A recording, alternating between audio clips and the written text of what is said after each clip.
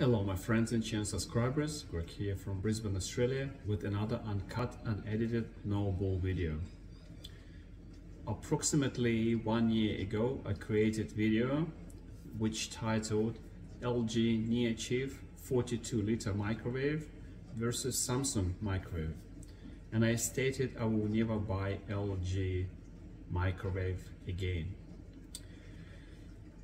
The interesting point is, uh, until today, it is most watched and most discussed video on my channel. And uh, I would like to come honest with you here. That's the probably only one or one of not many videos I created where I completely did not plan it. That means it wasn't product review, it was just rant that I had enough of low quality product bad customer support. And I wanted as a purpose of my channel to help everyone to make their own decision based on other people experiences. Uh, to make your decision what kind of microwave would you like to buy if you're in position to choose between those two? So in this video I would like to touch three points. The first point is what do I think uh, one year later? I'm using this microwave already for one year. Am I still mad with LG?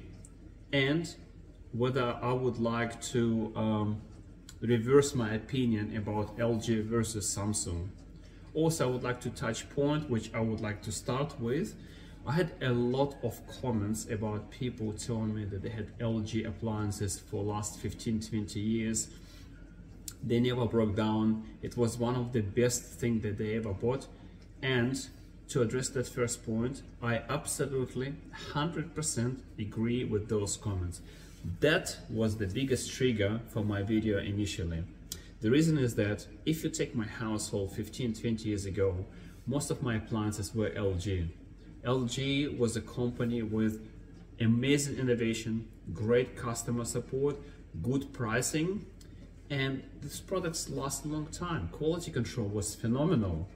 And as a result of my experience, I kept buying LG. This video that I created one year ago that I uh, uh, put in a card above, just if you didn't watch it, you will see my rant there. It actually had a couple of uh, good points. Describes that LG as a company changed.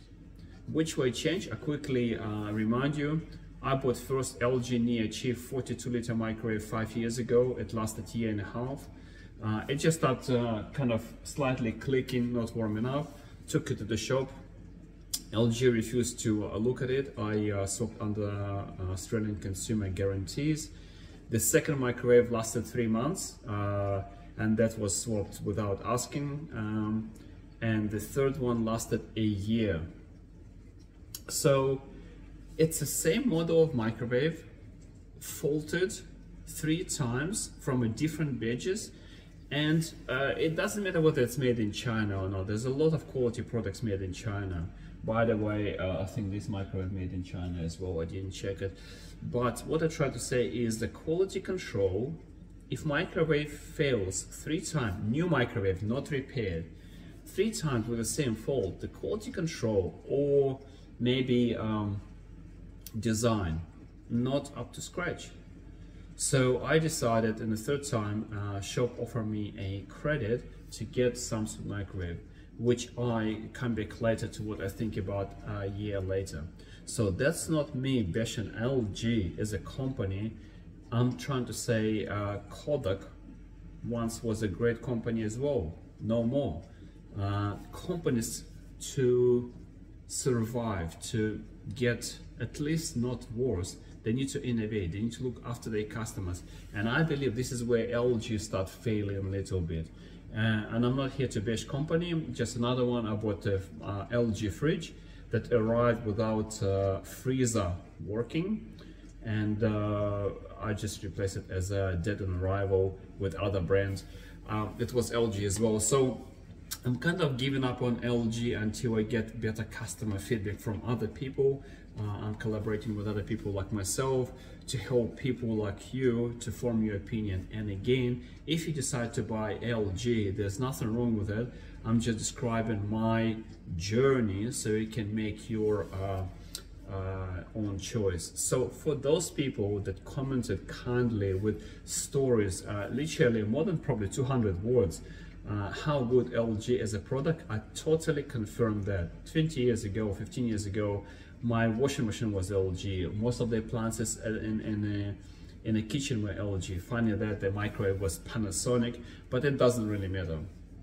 The second one is uh, if I still believe if this microwave after one year old worth the buy. First of all, as you can see, I would not create, uh, keep microwave here if it wouldn't be working. So after one year, it works well. And I actually believe that majority of the downsides of this microwave would be, in my books, this microwave advantage. The biggest thing that I really enjoy in this microwave is how hard is to press all those buttons to start microwave. And for some people, it may cause a problem. I believe, you know, the older people, uh, and, and, you know, and th there are circumstances when you don't want to press too hard on the buttons. But I tell you what, uh, it was such a big trouble to clean front of LG microwave. Everything was so touch sensitive. The haptic um, feedback on the um, the digital slider was so sensitive. The microwave would start without anything inside. It could blow up anytime anyway. So I believe the how hard to press buttons. You can see I just poke on the buttons and nothing happens. It actually allows me every day to cleanly wipe the uh, front of the microwave and, and I think that's a great benefit. Another one that I really uh, could not stand that LG microwave is how to set up the time. I don't know how about you, I don't have any clocks around me and every time I'm in the kitchen, uh, microwave time, besides my watch, would be time that I would look and, and gauge what time it is. So with every, not only power outage, but also brownout, that LG would reset to zero. And there's a feature, I'm not sure whether it's a feature or bug, it would give you a couple of minutes to set up time, and if you don't, it goes into like microwave mode. To actually go back and setting up time, you had to turn it off and back on, and then set up time. I don't know how about you, but my um, microwave uh, socket switch or power socket is behind microwave. It's not convenient to get to. And every time I was kind of struggling to get um, to the point to reset microwave, I, I, really did not like it. Here in, in Samsung, you got button called clock. Doesn't matter what happens, if you come to the kitchen and you see the time is not right, you press on clock, adjust the time, off you go. So I think that's an amazing function of this microwave. Uh, so another one is uh, people say, all right, so it's uh, cheaply made and all that. I'm not sure what cheaply made is. Um, I cook in this microwave probably collectively more than half an hour every day. That's a warming up uh, uh, breakfast, lunch, dinner. I'm making my tea in the microwave. I'm making rice in the microwave. This microwave is working hard as a home, domestic home appliance. Maybe in the commercial setting will be different story, but as a home appliance, it's working really hard. It, I'd say heats up really even. Well, LG was good as well, but this one uh, really hits up evenly and never skip any bit. It's really good. The only one problem here that I can see, and many people commented on it, and I totally agree, it's light. Uh, the light inside is not LED and when micro works you cannot see what's inside so light is really um, not good about that otherwise to be honest after one year would I still recommend this uh, microwave? Of course not only because it did not fail on me I could be lucky I could be unlucky with LG but you know when same microwave fails three times within five years same model new microwave, you would think like one time is unlucky, two times something is wrong, three times, come on, that's enough. So this microwave is still working. The price was right when I was swapping LG for this one. I think I got it for $100 cheaper. And to be honest, I don't care about branding. You know, some people really get in a touch and to bring and say, oh, the Samsung and LG, same thing, different thing. I don't care. To me, it's made not as cheap as uh, cheapest brand. Uh, the functionality is phenomenal, and you know, uh, simple things like even um, it says sound. Like if my child sleeps, it's so easy to press sound. It wouldn't, wouldn't beep when when things finish. So I believe, from user perspective, it's more cleanable, it's more customizable, like clock, like sound.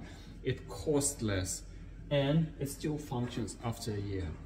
So, after a year of using this microwave, uh, my conclusion is uh, I'm not here against LG, but I still uh, happy with my decision to buy Samsung as a microwave. Would I recommend it after a year? Yes, the price is right.